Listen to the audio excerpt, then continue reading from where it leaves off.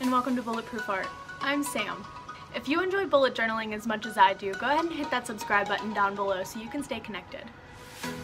Today I'm going to be walking you through another weekly spread, but in this one I am going to show you how to create a little takeaway shopping list.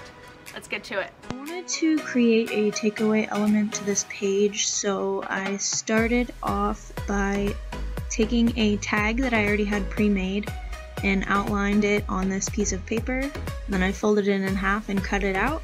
And then I glued them together so that the pattern was on both sides.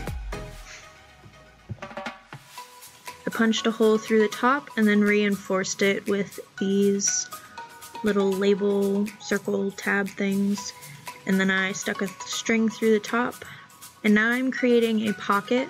So I just measured where I wanted it to go and I gave it a little bit little bit of extra space on both sides so that I could fold it in.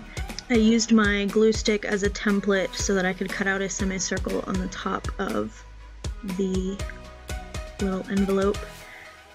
And then I scored the bottom and then cut off the two little pieces that connected the bottom scores from the side scores.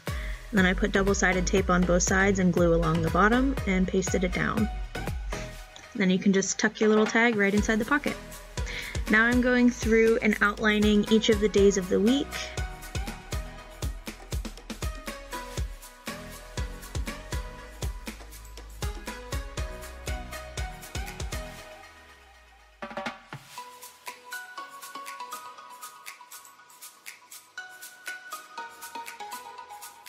And also this bigger box for my food log.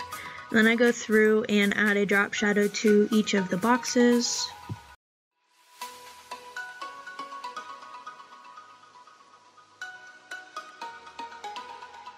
And then I write in the headers for each of the days of the week. Now I'm adding these little burnt cards to the side for my wants and my goals, and I'm also adding a header to this pocket for my shopping list. I set up my food log and then I go through and add a little bit of washi tape to the top and then my wants and my goals stickers on the side there. And that about wraps up this video. If you enjoyed it, go ahead and give it a big thumbs up. If you have any questions or comments, you can leave those down below. If you happen to make any recreations of this, you can tag me on Instagram. My information can be found in the description. And as always, don't forget to hit that subscribe button because I post bullet journal videos twice a week. I'll see you next time, guys. Bye!